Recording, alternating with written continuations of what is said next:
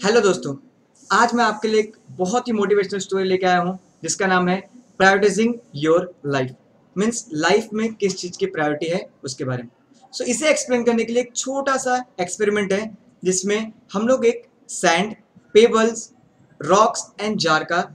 Use करने वाले सो so, सोचिए आपके पास ये चार चीज़ें हैं। Now it's your duty to fill all the things sand pebbles and rock inside the jar so so, ये जार को फिल करने के लिए अगर आप पहले रॉक को फिल करते हैं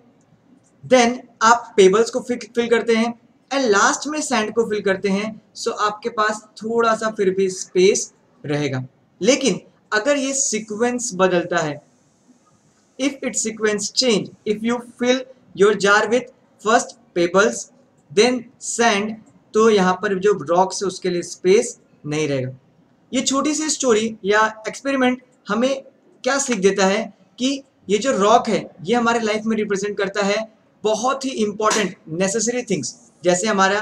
फैमिली करियर एंड हेल्थ जो पेबल्स है वो रिप्रेजेंट करता है एक्स्ट्रा फन लाइक सेटिस्फैक्शंस जो कि हमारे लिए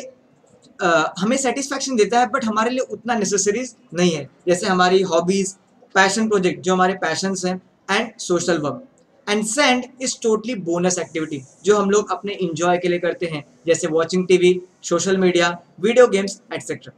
so सबके लाइफ में ये रॉक पेबल एंड सेंड तो डिफरेंट डिफरेंट है. बट सबकी प्रायोरिटी